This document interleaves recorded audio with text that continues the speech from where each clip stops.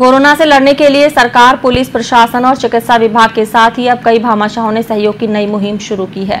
इस मुश्किल घड़ी में भामाशाह भी सरकार के साथ कंधे से कंधा मिलाकर काम कर रहे हैं। शनिवार को जिला कलेक्टर अंशुदीप को दो भामाशाहों ने ढाई ढाई लाख रुपए के अलग अलग चेक सौंपे। इसी दौरान विधायक मेवाराम जैन व जिला कलेक्टर ने और भी भामाशाहों को इस विपदा की घड़ी में आगे आकर सहयोग करने की अपील की।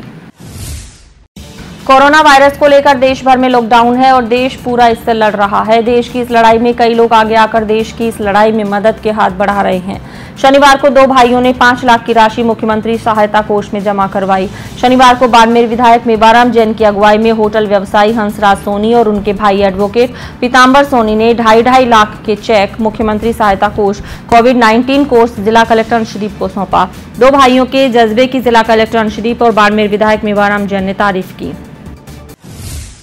इन परिस्थितियों को में सरकार की, सरकार के द्वारा जो हम लोगों से उम्मीद रखी गई थी, सहयोग की उसी उम्मीद के अनुसरण में हमारे परिवार के द्वारा कोविड नाइन्टीन के में सहायता राशि उपलब्ध करवाई गई साथ में मेरे भाई साहब बड़े हंसराज जी सोनी हैं। सारी रहता आर्थिक सहायता के रूप में इन्होंने परिवार में बैठ के मोटिवेट किया सबको।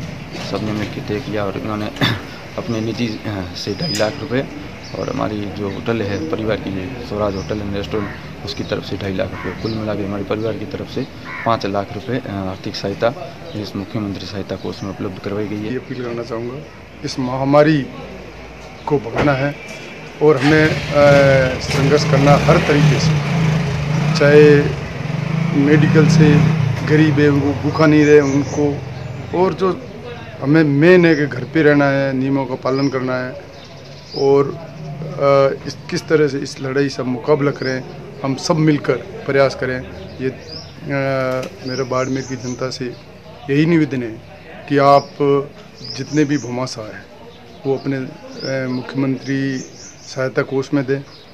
बाड़मेर में जिला कलेक्टर ने एक नया कोष बनाया, उसमें दें। और जितने भी गरीब बैठे चाहे गरीब हो, कोई पशु, पक्षी हो जितना हम दान पुण्य कर सकते हैं, आगे बढ़ चढ़ कर इसमें आप भाग लें और उसी के तहत लोग, कई लोग आ रहे हैं, अपने धन का सदुपयोग दे रहे हैं। अभी पाँच लाख रुपए हंसराज जी और परसोत्तम जी, सोनी, इन्होंने दिए।